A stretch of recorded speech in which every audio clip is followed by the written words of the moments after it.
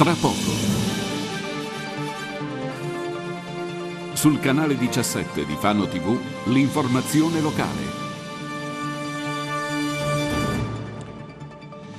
Incidente stradale sulla provinciale 3 tra Cagli e Cantiano. Muore un camionista di Foligno, miracolosamente illeso, il conducente di un furgone. Processo per il delitto di Ismaele Lulli, ergastolo a Iglimeta e 28 anni a Mario Mema. Finisce indagata Ambera, l'ex fidanzata dell'assassino. Il degrado scorre lungo il canale Albani e il comune di Fano è costretto a sollecitare interventi urgenti a Enel Green Power per la bonifica del corso d'acqua. Grazie ad un finanziamento del Lions Club sta per tornare al suo antico splendore una delle opere più apprezzate a Fano, l'Annunciazione di Guido Reni. A Montegiano, nel Pesarese, domenica torna la festa più attesa e gustosa del paese, la Crescia Saikucon.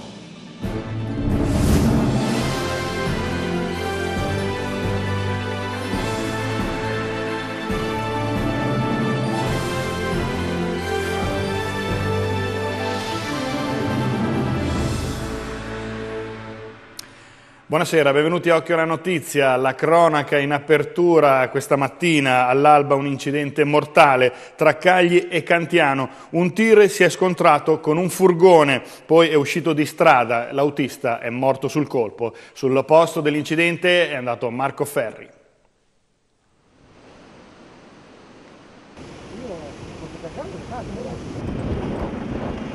Era partito questa mattina all'alba da Rimini, dove ieri pomeriggio aveva fatto una sosta tecnica. Al titolare dell'azienda di trasporti per la quale lavorava aveva detto che sarebbe rientrato in mattinata. Ma Gianluca Marchetti, 53 anni, di Foligno, dipendente di una ditta di autotrasporti di Gualdo Tadino, a destinazione non c'è mai arrivato. Si è schiantato qui poco dopo la galleria di Cagli Ovest, mentre era alla guida del suo tir e stava percorrendo la strada provinciale 3 Flaminia in direzione Roma.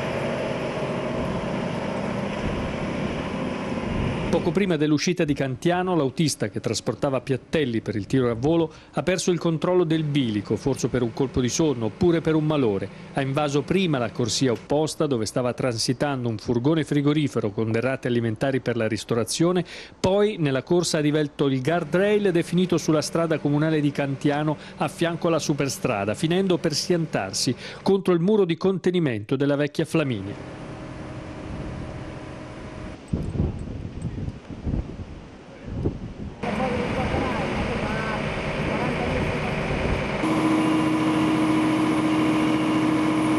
Nell'impatto l'altro conducente, Walter Monaci, di 36 anni del posto, è rimasto miracolosamente illeso e si è visto praticamente passare la morte in faccia. Un metro prima e l'auto articolato lo avrebbe centrato in pieno. Trasferito all'ospedale per accertamenti, è stato poi dimesso. Sarà forse necessaria l'autopsia invece per stabilire con esattezza le cause del decesso dell'autista di Foligno, sposato e con un figlio. Sull'asfalto ci sono i segni della frenata e questo potrebbe tenere aperte anche altre ipotesi che sono al vaglio della Polizia Stradale di Cagli.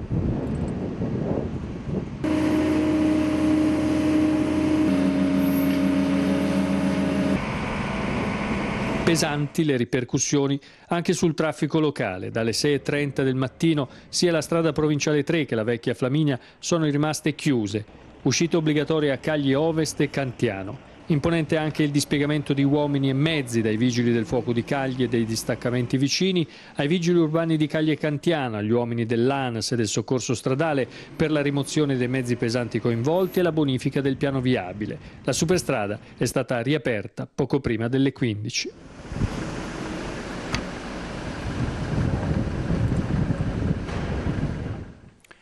Ed ora veniamo alla sentenza del processo per l'omicidio di Ismaele Lulli. Oltre alle condanne per i due imputati c'è una nuova indagata, è Ambera, l'ex fidanzata di Igli, che mandò il fatale messaggio a Ismaele per attirarlo nel bosco. Sentiamo.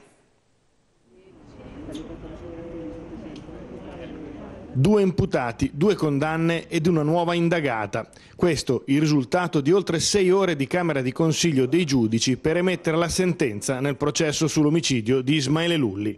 Ergastolo per il suo assassino Iglimeta e 28 anni e 4 mesi al suo palo Mario Mema ed una richiesta di indagare Ambera per concorso in omicidio premeditato premeditazione riconosciuta per Igli che gli ha sferrato i colpi mortali e non per Mario ed esclusa per entrambi l'aggravante delle sevizie.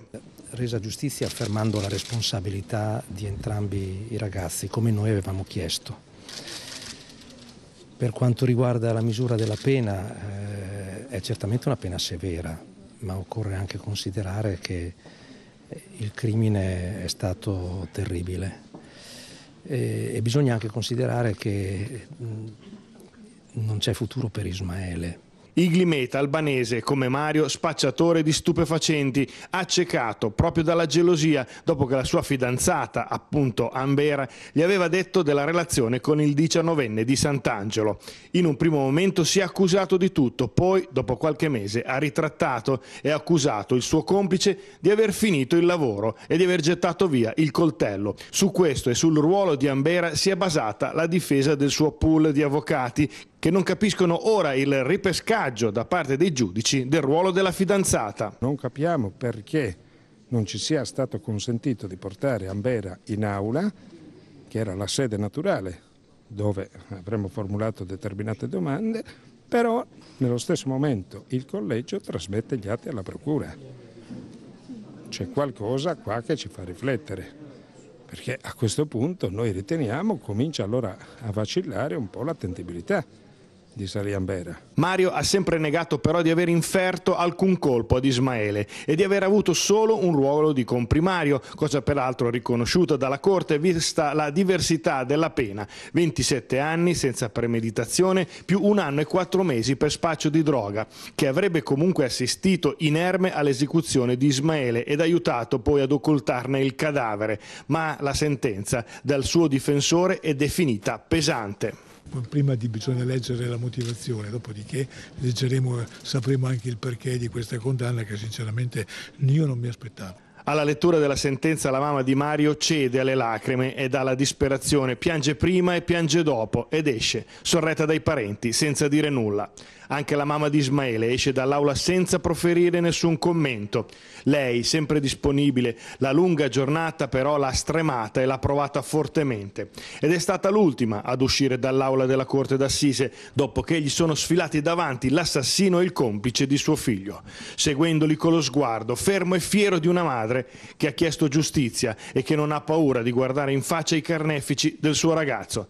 Ma alla fine cede anche lei alla stanchezza ed affida al giorno dopo dopo un suo commento sui social condividendo il post di una sua amica. Giustizia è stata fatta, riposa in pace, piccolo Angelo. Ed ora veniamo alle vostre segnalazioni che come sempre vi diciamo sono importantissime per quanto riguarda così, eh, un occhio in più sulla città. E un luogo su tutti in queste ultime settimane è stato al centro delle vostre segnalazioni, non solo verso di noi ma anche verso l'amministrazione comunale. Il luogo è quello dei passeggi per quella catasta di Cannicci che si è formata sotto il ponte eh, storto. E noi abbiamo interpellato l'assessore di competenza. Sentite cosa ci ha detto.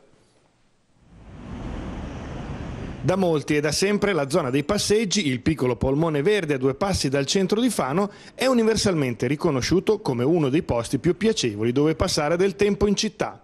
Panchine, giochi per i più piccoli, ampie zone d'ombra e ora da poco anche un piacevole punto ristoro per grandi e piccini ed anche un ponticello in legno che attraversa un corso d'acqua conosciuto come Canale Albani. Già, il canale Albani. I passeggi sarebbero un piccolo paradiso se non fosse che il suddetto canale Albani che lo attraversa rappresenta la maggior fonte di guai di questo piccolo Eden. Ultimamente, proprio dalle acque del canale, sono giunte le immagini e le segnalazioni dei nostri telespettatori circa lo sbarramento di Cannicci che si è formato a ridosso del Ponte Rosso. Spettacolo poco edificante e fonte di sporcizia e degrado. Se poi mettiamo insieme anche la presenza di bestiole dalle dimensioni ragguardevoli e la presenza di strane sostanze galleggianti, abbiamo una bella patata bollente per il comune che non ha la proprietà del canale e che quindi è limitato nei suoi interventi. Noi abbiamo raccolto le segnalazioni che in questi giorni ci sono state da diversi cittadini, io stesso ho fatto personalmente un sopralluogo e abbiamo scritto con una richiesta formale quindi Enel Green Power sollecitando un intervento non solo per la rimozione di quelle ramaglie ma anche di prevedere tempestivamente quelli che devono essere in quell'area gli interventi parallelamente di deratizzazione e di disinfestazione eh, per la zanzara trigre. Sostanze galleggianti schiumose dovute a tensoattivi di dubbia provenienza o semplici fioriture dovute alle sedimentazioni presenti sul canale che il brusco innalzamento delle temperature delle scorse settimane ha innescato come processo. Il responso su quanto vedemmo galleggiare proprio sul canale e poi concentrarsi proprio contro la barriera naturale è atteso a giorni, ma dai primi riscontri sembrerebbe proprio che la natura ed il clima abbiano giocato un ruolo determinante su questo episodio. Una delle opere di maggior prestigio presenti nella Pinacoteca Comunale di Fano sta per ricevere un importante sostanziale intervento di restauro grazie all'interessamento e il finanziamento di un privato. È l'annunciazione del Guido Reni.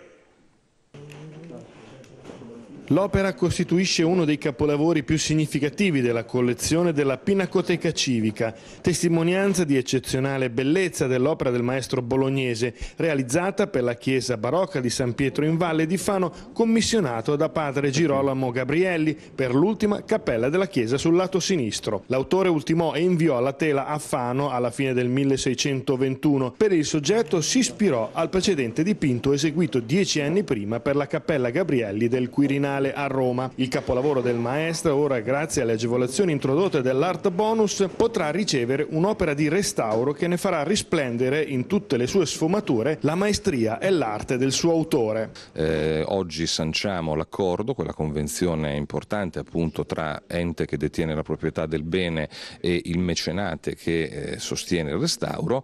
Eh, questa è una buona pratica perché la società civile, le associazioni, anche i privati stessi che hanno un forte sgravio aggravio fiscale, il 65%, questo è il, diciamo, lo snodo virtuoso della legge, consentono di garantire al patrimonio nazionale una vita, una conservazione, una pubblicità e poi il fatto, appunto, come diceva lei, che si collabora. Si collabora perché il patrimonio è immenso e delegarlo solo alla funzione pubblica per una manutenzione diventa una gara spesso insostenibile. Tutto questo sarà possibile grazie all'accordo sottoscritto questa mattina all'interno di una delle sale più affascinanti di Fano, la Sala dei Globi, nella Biblioteca Federiciana, luogo carico di storia e reperti preziosissimi.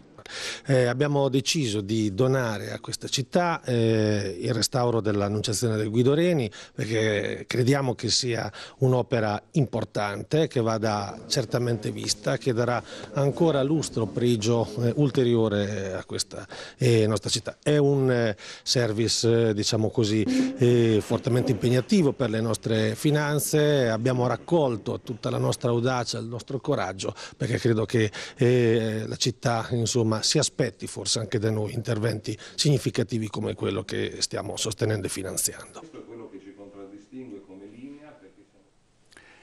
Ed ora spostiamoci a Pesaro per una comunicazione importante sul fronte della viabilità. Da mercoledì 3 maggio, a partire dalle ore 8.30 e fino a venerdì 5 maggio, il sottopasso di via De Gasperi resterà chiuso al traffico per eh, lavori di manutenzione straordinaria dell'impianto di smaltimento delle acque meteoriche. Per raggiungere la zona di Loreto e via Flaminia si dovrà utilizzare il sottopasso San Decenzio in via Bondei, dietro il Tribunale, raggiungibile seguendo la segnaletica che verrà predisposta per l'occasione. E Davide Di Tommaso non è più il coordinatore regionale per le marche di Forza Nuova. Tra le cause che lo hanno indotto a dimettersi, le posizioni divenute ormai inconciliabili con alcuni rappresentanti del movimento. Contemporaneamente alle dimissioni del coordinatore regionale da segnalare anche lo scioglimento della storica sezione di Macerata. Ed ora chiudiamo con eh, gli eventi e un evento in particolare che riguarda un po' il territorio e le tradizioni rurali e contadine. Andiamo a Montegiano. E li accogliamo con un bel applauso!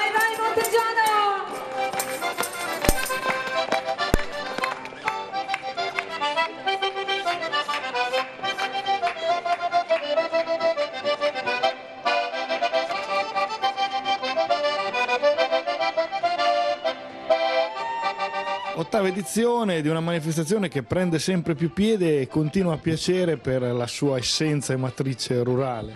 Sì, noi stiamo preparando la nostra ottava edizione, siamo pronti e abbiamo abbellito nostro, il nostro piccolo paesino come si fa a casa quando inviti delle, degli ospiti graditi e quindi noi vi invitiamo a condividere questi due giorni in campagna dietro l'angolo per stare un momento insieme e rilassarsi.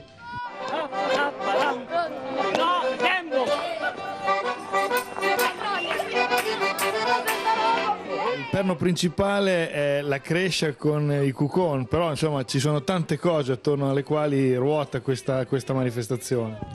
Sì, diciamo saranno due giornate da vivere già dalle prime ore del mattino, quindi abbiamo organizzato oltre alla classica festa popolare tante altre iniziative naturali, sportive, culturali anche.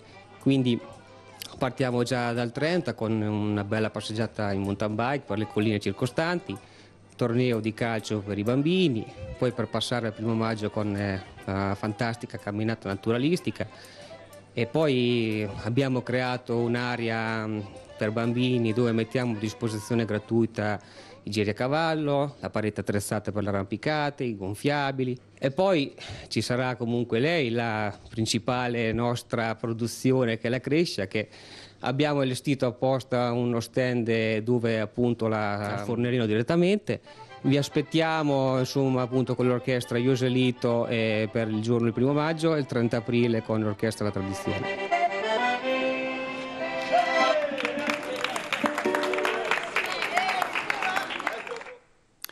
Per chi non lo avesse capito o non è insomma, del luogo, i cucon sarebbero le uova sode. Bene, e con questa gustosa ultima notizia chiudiamo qui questa edizione di Occhio alla Notizia. L'informazione torna domani mattina alle 7.30 con Occhio ai giornali. Grazie e buon proseguimento con le trasmissioni di Fano TV. Arrivederci.